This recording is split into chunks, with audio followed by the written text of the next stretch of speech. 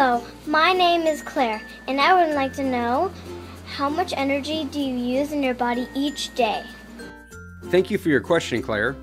On average, humans use about 2,000 nutritional calories per day. That works out to about 8,000 British thermal units of energy. That's enough energy to light one old fashioned light bulb for 24 hours, or one full day, and that same energy could power a modern LED light bulb for six full days. While the light bulb gets its electricity from a power plant that uses fuels like coal or natural gas, nuclear power, or wind, the fuel for our bodies is food, and our food gets its energy from the sun. That means, in the end, we are all operating our bodies on solar energy. And, by the way, the amount of energy we use in our bodies is much smaller than the energy we use for our houses, cars, and factories. For a typical person in the United States, our bodies are responsible for just 1% of annual energy consumption.